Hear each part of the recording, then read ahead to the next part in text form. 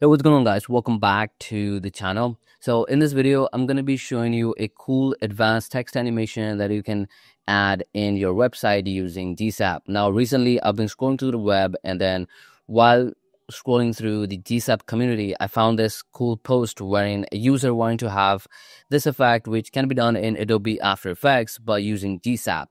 So there was this amazing guy called as Point C who basically figured out this cool way of animating the text. I'm just going to be um, adding the link to the thread as well as um, the link of the profile of, of the moderator named as Point C in the description as well, so you guys can check that out. I basically refactored some of the stuff and then made it a bit more easier for the beginners to understand. So I'm just going to be showing you what we have here. So here we have the text which says subscribe. And now if I were to refresh, you'd see that we have this cool odometer kind of effect that's pretty nice and pretty smooth as well. Um, so this is a standard slot machine kind of animation wherein basically the text roll, but then you'd see that we have this cool ease effect as well. It starts off a bit slow and then goes pretty quick and then uh, has this cool in out effect. So we're going to be building this in this video using HTML, CSS, and JavaScript. Now we're going to be using GSAP for this. So yeah, without a delay, let's get started and let's learn to build this. Here I am in my index.html file where I've linked the GSAP uh, CDN and then I've also added the link for the Bebas Neue font, which is a Google font. Now, inside of the body, we're going to get started by adding the container div within which we're going to have our text. Now, inside of this H1, instead of adding the text as a whole, we're going to break down each individual characters into a span. So here, let's call the span uh, with a class of char. And then within this, we're going to add our character. Now, one thing to notice is that we don't have the character once we just repeat it twice. Now we call it as um, original text and then the clone text. The original text is basically the text that is visible to us, and then the clone text would be the text that is outside of the view frame, and then we just animate it just so that we get the rolling effect. So I'm just going to be repeating it for all the different characters. So I'll just paste that in and that's it for the HTML. Now, instead of creating another style file, I'll just be adding a style tag just underneath our HTML. Here, inside the style file, I mean style tag, I'll just be pasting in some of the styling for the body. So the body needs to have the font family of this, padding margin as zero, height as 100 viewport height, background to a dark color. Now everything at the center using display flex, justify column to center and align items to center. And then we're going to set the color of the container as white just so that all the different text is, I mean, the characters are white. And then the H1, now if I were to show you, now as you can see, the characters are stacking on top of each other, but then we want these to be um, horizontally. So we need a property of display flex here. So we'd add that as well. And then also the text needs to be uppercase. So we'll add that.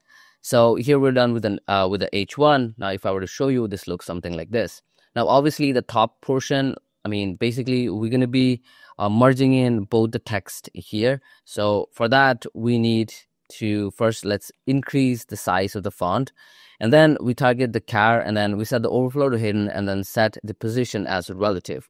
And then we target the clone text and then we just merge the clone character on top of the original text just so that uh, we don't see it repeating now this is this looks pretty nice so now what we're going to be doing is using the javascript we're going to be placing the clone text alternatively like uh, for the odd ones we'd place the clone text above and then for the even ones the character would be somewhere underneath and obviously since we have the property of overflow hidden here so those won't be visible to the viewport so you can obviously do this in CSS, but I think it's much easier if you do it in JavaScript.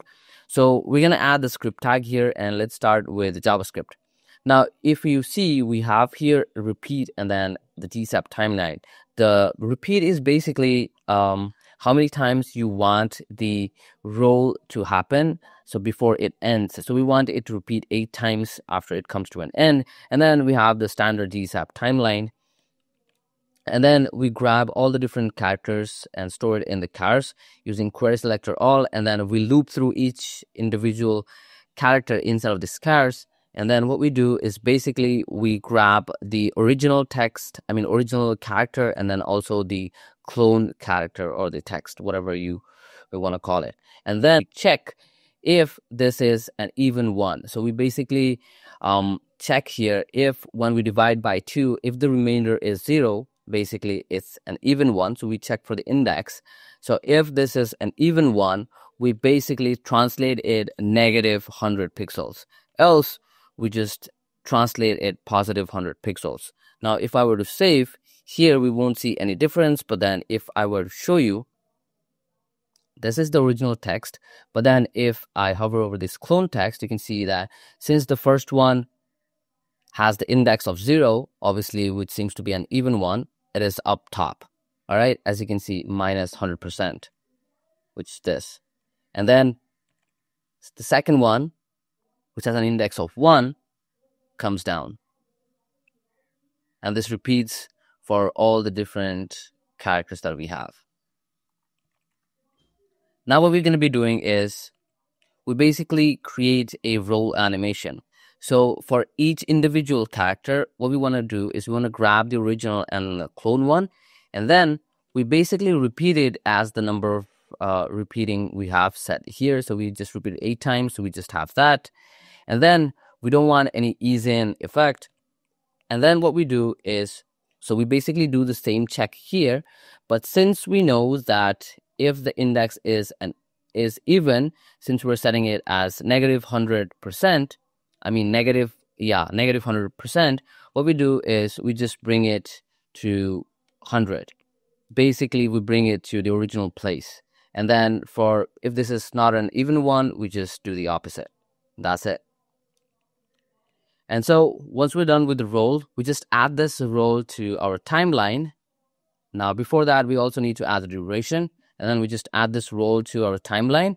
And then we specify that this, this needs to be at the very start. So we add the timestamp as well of zero. Now we have almost our timeline ready.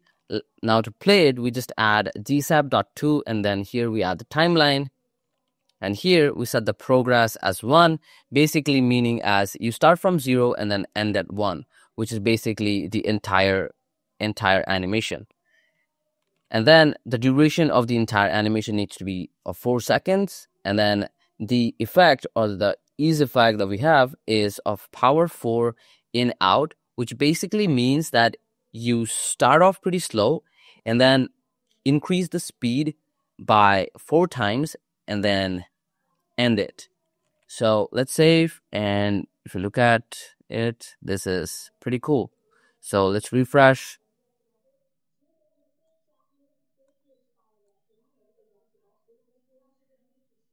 Now, the source code of this would be in the description, as well as the link to the GSAP thread would be also in the description, so you guys can check that out as well.